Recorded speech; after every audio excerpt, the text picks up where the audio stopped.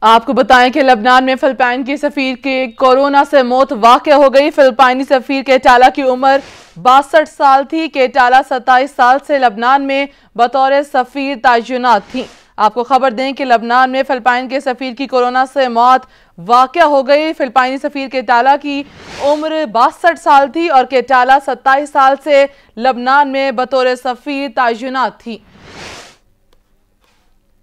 خبر دیں آپ کو عام خبر سے آپ کو آگاہ کریں کہ لبنان میں فلپائن کے سفیر کی کورونا سے موت واقع ہو گئی۔ فلپائنی سفیر کیٹالا کی عمر باسٹھ سال تھی۔ کیٹالا ستائیس سال سے لبنان میں بطور سفیر تعینات تھی